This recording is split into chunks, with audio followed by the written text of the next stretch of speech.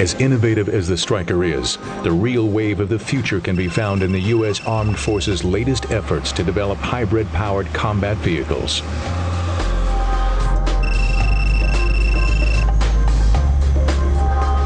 Two extraordinary examples of this endeavor are the Shadow RST-V and the AHED 8x8 programs.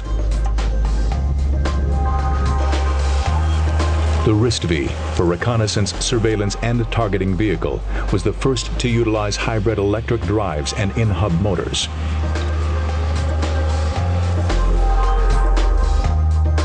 One requirement was to have a vehicle which could be easily transported by the V-22 Osprey. The RST-V's compact design and folding suspension allows for just that.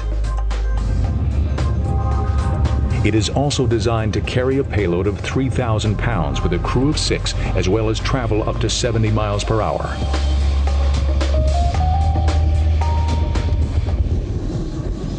The Advanced Hybrid Electric Vehicle, or AHED 8x8, goes even further in exploring the possibilities of hybrid design. The key technologies include magnetic motors installed in each wheel hub, advanced pneumatic suspension, and innovative hybrid wheeled or tracked steering.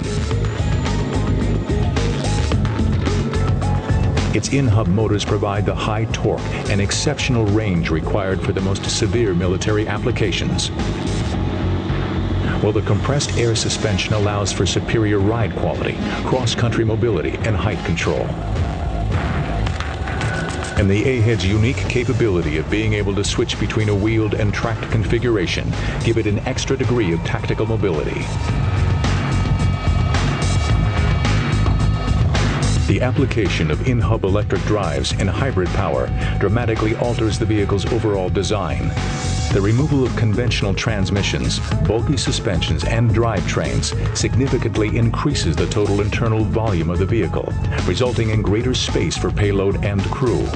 The AHED can carry a payload of 8 tons and has enough space to accommodate up to 12 crewmen.